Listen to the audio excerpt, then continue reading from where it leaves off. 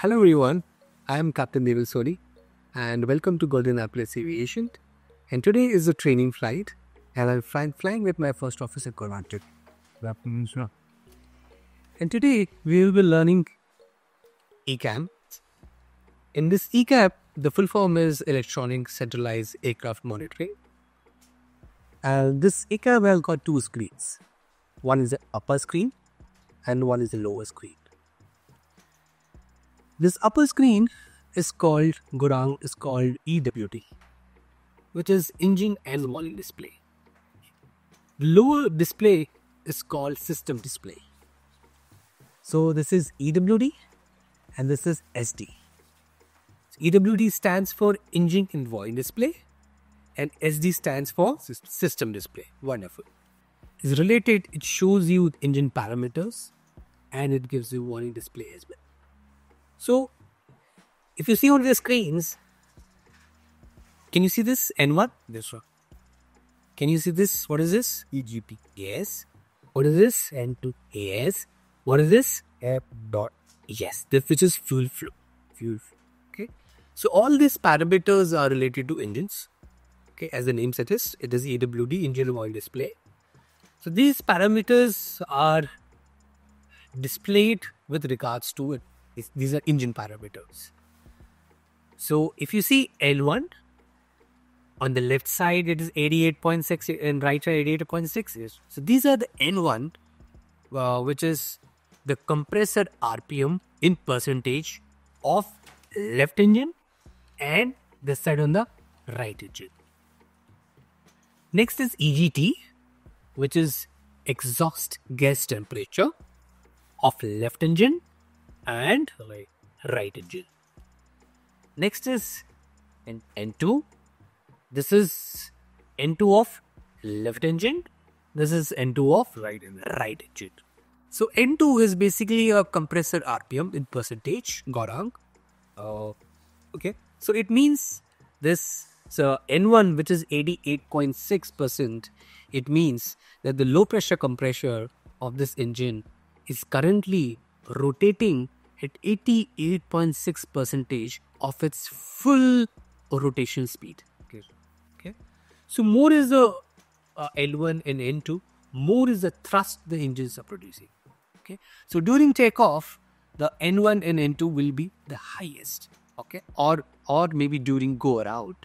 Okay. When during go around, we always put to toga, which is the full power. And yes, at that point of time, the, the thrust produced by the engines is our highest. At that point of time, N1 and N2 will also be highest.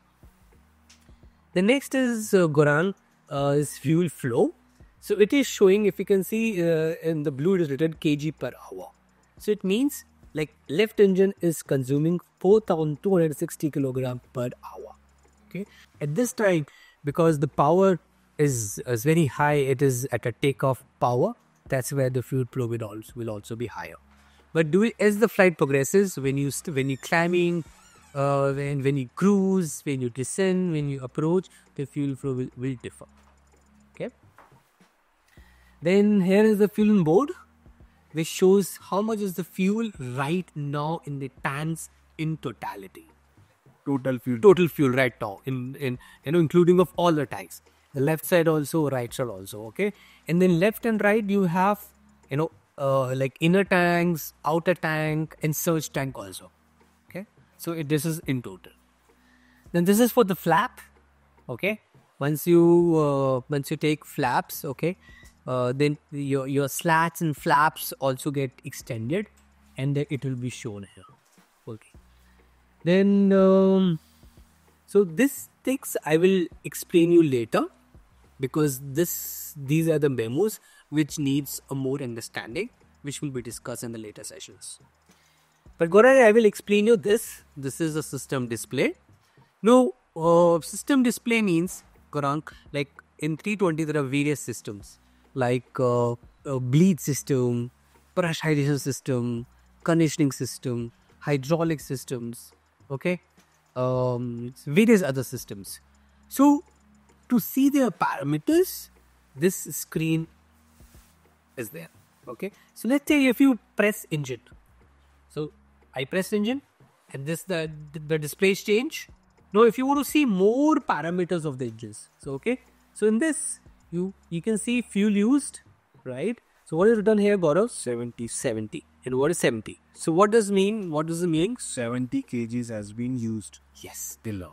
Correct. By the left engine and 70 kg has been used by the right, right engine. Perfect. Very lovely. What is this? Oil. Oil. And this is quantity. Okay. So this is the uh, 16.8. 16.8 is the oil quantity. Then, uh, sorry, PSI. So it means what is the oil pressure?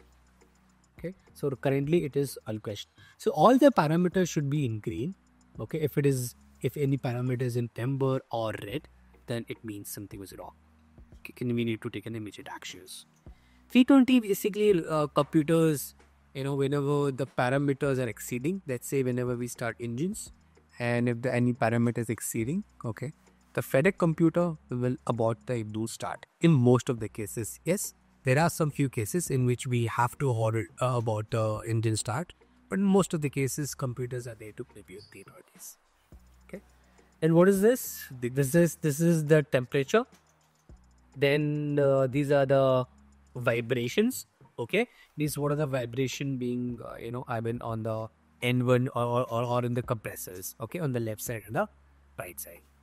Then these are these are called permanent data this is if you can yeah, if you can read this for the uh, for everyone EAD flat uh, that is uh, plus 9 degrees Celsius and SAT SAT plus 9 degrees Celsius. Correct. So, um, do you know what is and SAT? Okay. So, basically, TAT is a total air temperature.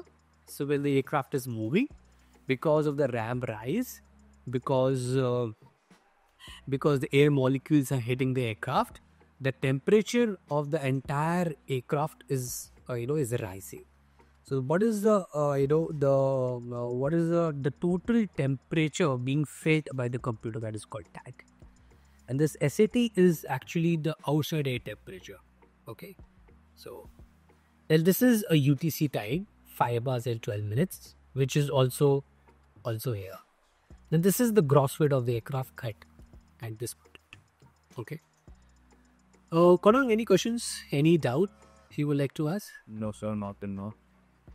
Uh, thank you so much, everyone, and I hope uh, this session and this trading session might have helped you in understanding few things about the ECAM. And if you have uh, something more uh, queries, and if you want to know some systems or something about uh, anything on 3Ds, please feel free to comment down, and we will be happy to share that through our training sessions. Thank you so much. And thank you, for being a part of this training. Thank you so much for making me familiar with these two screens. That will be help time soon.